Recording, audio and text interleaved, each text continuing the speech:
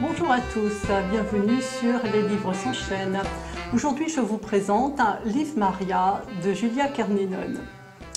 Je viens de lire la quatrième de couverture et elle me semble fade. Elle ne reflète pas toute la richesse que j'ai trouvée dans ce roman, notamment l'écriture.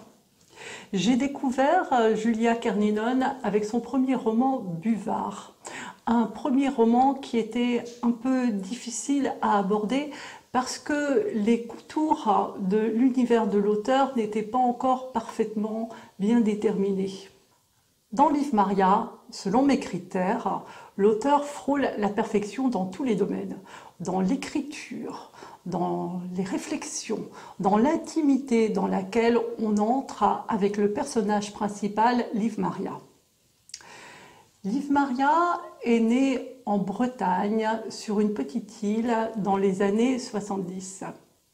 Sa mère tenait un café et son père était norvégien. Son père est arrivé sur l'île euh, par hasard et il est, c'est un amoureux des livres et il est tombé amoureux de Mado qu'il a épousée et avec qui ils ont eu une petite fille, Liv Maria.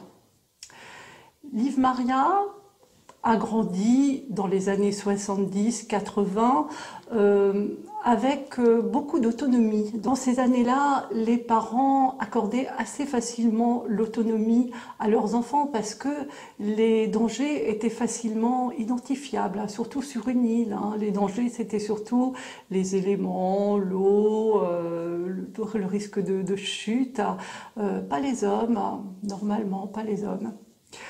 Alors, à l'âge de 17 ans, Liv Maria est envoyée à Berlin chez la sœur de sa mère, sa tante, parce qu'il s'est passé quelque chose de grave sur l'île et qu'il vaut mieux l'éloigner. Et là, à Berlin, elle va tomber sous le charme de son professeur d'anglais, Fergus.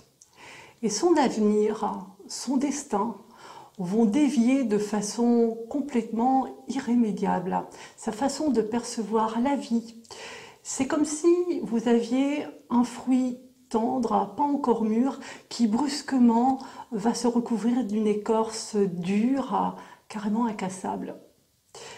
Je vais vous lire un extrait pour vous faire rentrer en communion avec euh, l'écriture de Julia Kerninon. C'est un extrait que j'ai directement, quand je l'ai lu, j'ai choisi de vous le lire, de le garder pour vous. Et je crois que j'ai eu raison parce que cet extrait revient plus tard sous une autre forme, dans une autre bouche. On est page 52. Mon père dit que quand on commence à lire un roman de Faulkner, on ne comprend rien. Les phrases se déroulent autour de nous comme des lianes. On regarde pousser une végétation dense exotique, sombre, dans laquelle on avance à tout petits pas sur nos gardes. Et on est capable de voir la beauté des phrases. On devine qu'il y a quelque part derrière une chose immense qui se prépare. Mais pendant au moins une bonne centaine de pages, on est juste là, dans cette jungle, dans ce silence. Et puis d'un coup, presque, la scène s'illumine.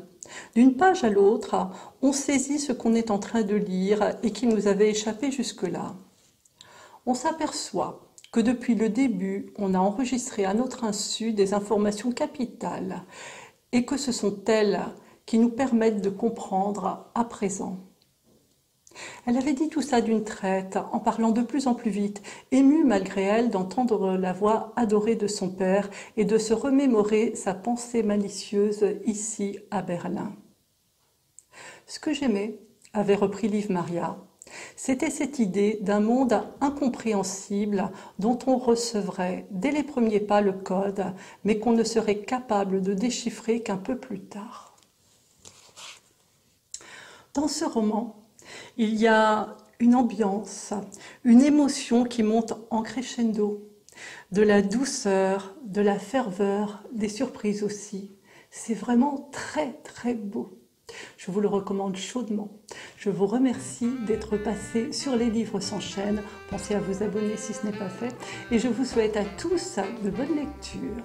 À bientôt.